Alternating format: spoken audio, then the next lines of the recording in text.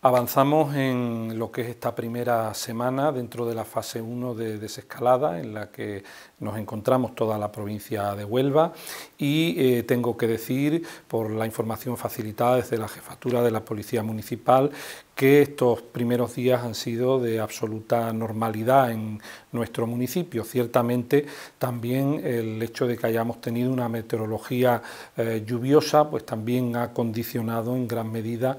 eh, la salida de la gente a la calle e incluso eh, también la apertura de, determinados establecimientos, especialmente eh, del sector de la hostelería, que podían haberlo hecho en lo que se refiere a la atención en terrazas y que lógicamente pues el tiempo tampoco lo, ha permitido. Eh, en cualquier caso, desde el Ayuntamiento de Aracena seguimos eh, atentamente y trabajando en lo que es la coordinación de todo este proceso de, desescalada y en esa línea, pues también para este eh, fin de semana y después de trabajar conjuntamente con la Asociación de Empresarios de Aracena, pues se va a articular una medida para facilitar en la medida de lo posible, una parte la ampliación del espacio peatonal para la circulación de las personas y por otra parte también el que al existir ese mayor eh, espacio libre de vehículos pues determinados establecimientos, en este caso de la zona centro, puedan eh, ampliar los espacios de sus terrazas y con ello eh, garantizar eh, las medidas de distanciamiento legalmente establecidas. En esa línea, como digo, pues este viernes por la tarde se procederá al corte del tráfico en lo que es la calle Constitución, la parte inferior de la Plaza Marqués de Aracena y el tramo que va desde esta eh, en la Gran Vía hasta eh, la intersección con la calle Santa Teresa. Quedará eh, abierto el paso de vehículos entre Gustavo Bacarisas y la calle San Blas. Con ello, eh, como digo, avanzamos en una medida de peatonalización que, por cierto, también está recogida en lo que va a ser el plan eh, de movilidad urbana sostenible de, Aracena y servirá también pues, como una em, eh, experiencia de cara a lo que podría ser el futuro. En principio y de cara a la situación actual, se plantea como una medida temporal, como digo, para ganar espacio peatonal y para posibilitar también la actividad económica en la zona. En esa línea y teniendo en cuenta que todavía en esta fase 1 eh, la posibilidad de recuperar el tradicional mercadillo de los sábados en el recinto ferial no es eh, posible por cuanto las limitaciones son bastante grandes, sí que eh, se ha considerado oportuno mm, el que se puedan instalar eh, cinco puestos de productos agroalimentarios, en concreto dos floristerías, un puesto de frutas y verduras, otro de venta de aceitunas y otro de frutos secos, en la calle Constitución, con lo cual pues eh, tratamos de manera transitoria de recuperar una cierta actividad eh, que favorece lógicamente a, las eh, personas que, ejercen la misma y por otro lado también que sirva para animar la propia actividad comercial en, en, el centro de Aracena. más adelante, en fases posteriores, cuando sea posible la recuperación del tradicional mercadillo en el recinto ferial, pues lógicamente lógicamente em, trataremos de que se pueda hacer en, las condiciones oportunas, teniendo en cuenta que también contamos con un espacio suficientemente amplio para garantizar las correspondientes medidas de distanciamiento. Igualmente se está estudiando una em, eh, alternativa eh, viaria para eh, mejorar la ampliación de espacios disponibles en la zona de, San Pedro, pero mm, eso será más adelante, una vez que se consensúe, que se vean todas las alternativas y por tanto que se haga de la manera con las mayores garantías posibles. En cualquier caso, desde el Ayuntamiento de Aracena mm, estamos también abierto a estudiar eh, con aquellos establecimientos de hostelería que lo soliciten la posibilidad de ampliación del espacio de sus eh, terrazas, como digo, para garantizar las eh, medidas de distanciamiento necesarios y, lógicamente, ayudar también a la viabilidad de este tipo de actividades económicas tan importantes en, nuestro municipio. Hay eh, establecimientos que ya lo han solicitado y los que no lo hayan hecho y quieran hacerlo, pues pueden dirigirse al Departamento de Desarrollo Local del Ayuntamiento, donde se le dará la información pormenorizada y desde donde se estudiará eh, las eh, alternativas posibles para siempre que no haya mayor inconveniente, pues se puedan llevar a cabo. Por otra parte, mm, queremos también comentar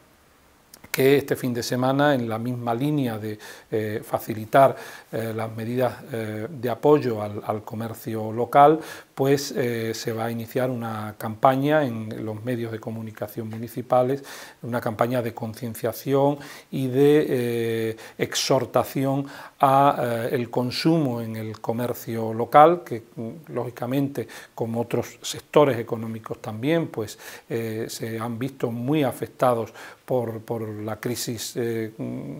generada por la pandemia del coronavirus y que eh, entendemos que una de las medidas, eh, no solo ahora, sino debería de ser siempre, pero más especialmente ahora que nunca, una de las medidas, como digo, de, de, apoyo más importante sería el que todos nos concienciáramos de lo relevante que es contar con un comercio local potente, con una oferta amplia eh, de comercio local, porque eso eh, significa eh, vida y riqueza para, para, nuestra ciudad. En esa línea, como digo, pues va a ir esta, esta campaña y esperamos pues, que contribuya a una concienciación en esta materia y que frente a nuevas formas de comercio y de ofertas agresivas en otros ámbitos, pues eh, miremos hacia la relevancia del comercio local y valoremos la importancia de que Aracena mantenga una actividad comercial que es uno de sus pilares fundamentales desde el punto de vista económico, pero también desde el punto de vista eh, social y en términos de, empleo. Por otra parte, también quiero comentar que em, en lo que se refiere al desarrollo de la fase 1, también desde el Ayuntamiento de Aracena, seguimos avanzando en lo que es eh, el regreso a la normalidad o a esa nueva normalidad y eh, poco a poco se van a ir eh, em, abriendo presencialmente los diferentes servicios municipales. Lógicamente los servicios han permanecido activos a lo largo de todo este tiempo porque en, todo momento a través de fórmulas de teletrabajo, de atención eh, telemática y telefónica se ha garantizado el funcionamiento, si no de todos, porque algunos obviamente era imposible, sí de la mayoría de los servicios municipales, y en esa línea pues eh, se va a ir eh, intentando eh, progresivamente recuperar una cierta normalidad en lo que es el funcionamiento de los mismos, lógicamente garantizando en todo caso las medidas necesarias de, de, seguridad para que así se haga de forma segura tanto para los propios usuarios, para el conjunto de la ciudadanía, como de los trabajadores que atienden estos eh, servicios. Esta semana se han eh, abierto parte de las instalaciones deportivas municipales. En este momento se está eh, trabajando también para que en los próximos días se pueda abrir el servicio de atención a la ciudadanía y, como digo, en función de las posibilidades que eh, ofrece la normativa que regula el estado de alarma y las distintas fases de desescalada, pues eh, se irá retomando la actividad presencial en lo que es el conjunto de los servicios municipales. Y eh, quiero referirme también a que esta semana pues se ha venido realizando una segunda campaña de reparto de,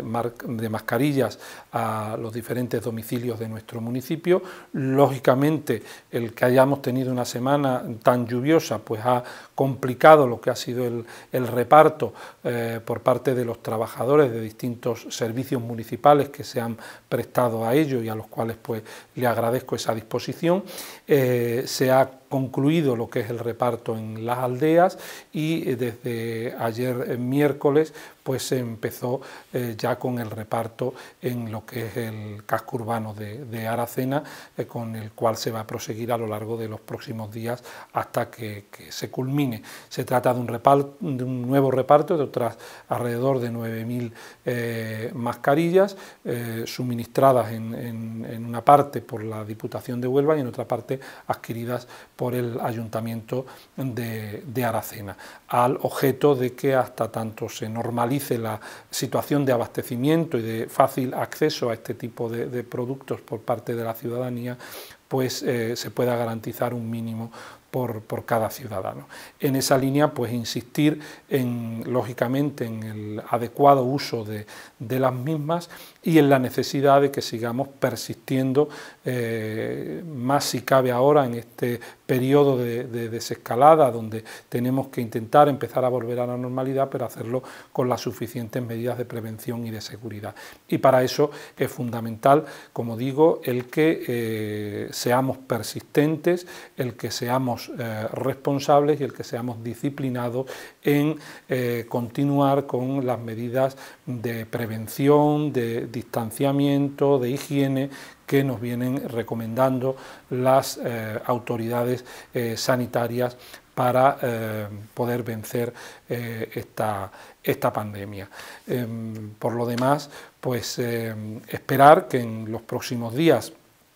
podamos seguir avanzando de cara a que eh, lo antes posible el conjunto de, nuestra provincia y ojalá de todos los territorios de nuestro país puedan alcanzar las fases eh, siguientes y, eh, como digo, podamos recuperar, si no la normalidad anterior, sí, pues bueno, esa nueva normalidad que eh, permita el que, podamos disfrutar de, todas esas cuestiones que, tanta falta nos, eh, nos, hacían, nos hacen y que eh, son las que conforman la esencia de nuestra sociedad.